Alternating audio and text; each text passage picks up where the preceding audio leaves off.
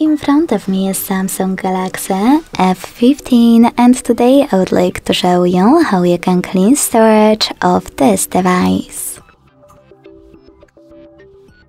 You need to begin by opening Play Store and downloading free app code files by Google. When it's ready, open it. Then to use it, hit continue. Select allow. And then click on gray switcher next to allow permission. Finally, hit clean at the bottom left corner and choose clean under junk files. Then hit clear in the pop-up and wait.